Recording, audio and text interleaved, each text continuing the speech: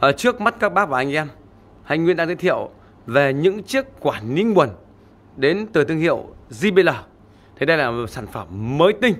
À, bên em nhập khẩu nguyên khối nguyên chiếc như này với nhá. Tới khi nhập về thì nó nguyên thùng vỏ như này. À, do vậy cái độ bền rất là cao. Thứ hai độ mới nó rất là sang trọng. Đấy, dùng lâu ngày lâu năm thì nó không hỏng. Thì chiếc quản lý nguồn của bên em ấy thì nó có những tính năng như sau. Thứ nhất bác nhá ở phía trước này nó là một ổ cắm thường trực. Tức là bác cứ cắm điện vào, thì cái lỗ này nó sẽ có điện. Trừ khi bác cắt automat này là sẽ mất bác nhá. Còn còn nếu như bác không cắt automat, thì cái lỗ này luôn có điện. Tức là một ổ cấp trước để cho bác cắm điện thoại hoặc quạt hoặc những thiết bị gì nó không liên quan đến cái việc mà ở cái mạch điều khiển. Ở phía sau ấy, thì nó hỗ trợ cho anh em là 8 lỗ cắm đây bác nhìn nhé tháo nút cắm. 1 2 3 4 5 6 7 8 Thế tổng cộng nó là 9 ổ cắm bác nhá. Đấy, dây nguồn rất to. Và đặc biệt em lưu ý này những chiếc quản lý nguồn ấy thì những ổ cắm điện này nó sẽ làm theo tiêu chuẩn quốc tế. Tức là bác cắm phích phi 4 phi 5 à, rồi là ờ, cái phích cắm dẹt phích cắm ba chân phích cắm tròn. Rồi phích cắm kiểu hình tam giác. Đều được quá nhá. Tức là phù hợp cho tất cả các loại phích cắm có mặt trên toàn thế giới. Có thể cắm vào đây được. Đấy. Và đặc biệt quản lý nguồn ấy, thì em rất quan tâm về vấn đề cái ổ cắm này. Nó phải chắc nhá. Tức là cắm phải chắc. Nếu như quản lý nguồn bên em ấy, bác lấy cái dây nguồn này của nó. Bác cắm vào đây, bác có thể nhấc lên được. Đấy.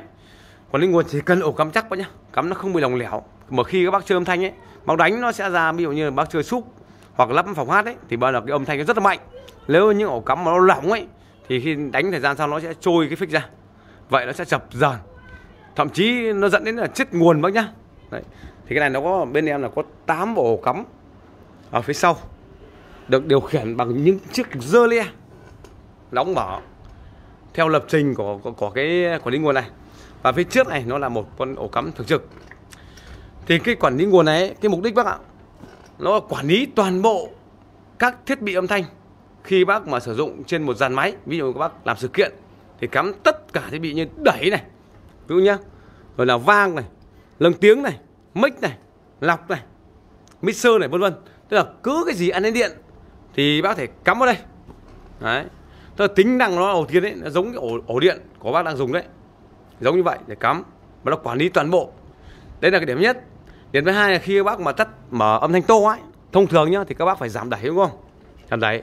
Và tắt công tắc. Nhưng với chiếc quản lý nguồn này không cần. Bác để vô lượng hết cỡ cũng được, hết cỡ này. Đấy. Mà khi bác đang mở âm thanh to ấy, bác chỉ tắt cái này phát thôi. Đấy. Là tự động nó sẽ tắt, nó không bao có tiếng lộn đụp phát vào loa.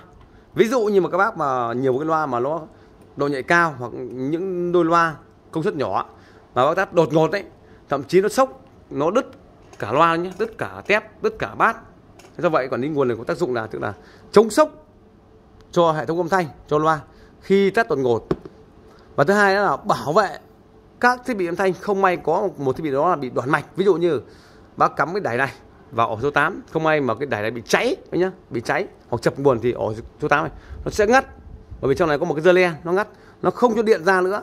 Và tránh trường hợp mà chập cháy uh, cái đường điện trong gia đình nhà mình đấy bác biết rằng khi mà chập điện ấy thì cứ chỗ nào yếu nó sẽ là lỗ trước đúng không ạ? Thì nó sẽ ngắt. Đấy thì cái nhiệm vụ là cắm tất cả thiết bị âm thanh vào cùng một cái quản lý nguồn này. Khi các bác mà cần tắt hoặc bật chỉ cần một thao tác cực kỳ đơn giản thì tự động nó sẽ à, đóng hoặc mở những thiết bị âm thanh này lên. Đó nhé và tiếp theo thì cái quản lý nguồn này. Nó có cái nhiệm vụ là à, khi mà bác tắt đi đấy thông thường nhá nó sẽ tắt từ 8 cho đến 1 còn khi bật ấy là sẽ bật từ 1 đến 8 bởi vì nó sẽ lập trình vào một con một con IC định hằng trong này. Một cái IC định hằng này nhé và mỗi một cổng ra ấy thì có một cái dơ le bảo vệ. Bởi vì ví dụ như nó đóng cho phép cổng 1 đến cổng 2 thì nó cho thời gian trễ. Ví dụ à, cổng một đóng trước cổng 2 bị sau 5 giây ấy, thì cổng 2 sẽ đóng và sau 5 giây cổng 3 đóng. Thì cái này do nhà xuất người ta tính nó sẵn bác nhá lập trình sẵn. Thực ra nghe lập trình nó kinh khủng nhưng nó không phải là khó vẫn như là không khó bác nhá. Như vậy khi chúng ta sẽ uh, cắm âm thanh vào đây chúng ta tắt bật thì nó rất là gọn gàng gọn gàng. Nhưng nguyên tắc âm thanh ấy khi bác tắt ấy, thì bác có tắt đẩy trước đúng không? Và bật các thiết bị ở phía trên. Còn khi mà mở lên ấy thì là thiết bị công suất tức là đẩy hoặc âm ly là bật cuối cùng. Đấy, do đó bác khi mà cắm cái quản lý nguồn này thì bác cứ cứ làm sao bác cắm ấy. Là sử bác có bốn thiết bị đấy thì bác cắm làm sao tính nó làm sao? Cái âm ly hoặc cục đẩy. Và khi bác bật điện lên thì nó sẽ có cuối cùng. Và khi tắt đi ấy, nó sẽ mất đầu tiên. Đối với những thiết bị công suất như đẩy âm ly ấy, thì nó không đổ ra. Còn cái phía trên thì bác cắm lộn xộn cũng được. Muốn đẹp thì bác cắm theo đúng quy trình như này thì nó đẹp. Còn chúng ta muốn cắm thì chúng ta lưu ý mỗi công suất này cho cho em thôi là đẩy hoặc âm đi, thì khi bác muốn ấy bật lên thì nó phải có cuối cùng. Còn khi tắt đi thì nó phải tắt đầu tiên. Ví dụ nhá này em nhìn này đẩy nhá đẩy này vang này nâng tiếng này. Đấy thì không lỗ. Khi bật lên nó phải có cuối cùng. Thì ngày nay em về được những quản lý nguồn này nhá. Con này nó là JBL mã là S68 một dòng mới tinh. Chế độ họ bảo hành một năm. Và uh, bảo hành một năm này. Và cái này em đã bán rất nhiều thị trường rồi giá là 1 triệu 500 nghìn đồng. Bao ship nhá. Mọi thông tin mua sắm, các bác liên hệ với em số điện thoại 0936 583 140 đấy, nó có nhiệm vụ là quản lý tất cả thiết bị âm thanh này rồi. Giống như cái ổ điện này, và tích hợp rất nhiều các cái các cái phích cắm được, tức là bác có thể cắm được nhiều phích được. Đấy. thứ hai là cái này nó không có nhiệm vụ kích điện nhé chú ý này, quản lý nguồn không có nhiệm vụ kích điện. Đấy, bác cắm 100 ra 100 bác cắm 200 ra 200 em lưu ý như vậy thì con này cực kỳ xịn nhé em đã bán lâu năm rồi. Không hỏng, hay là ổ cắm chặt độ bền cao, kiểu dáng đẹp. Thì ngoài ra còn cái atomat này. Đấy. Tổng ấy. Giá là một triệu năm nghìn đồng thôi nhá. Anh nguyễn cảm ơn các bác đã theo dõi.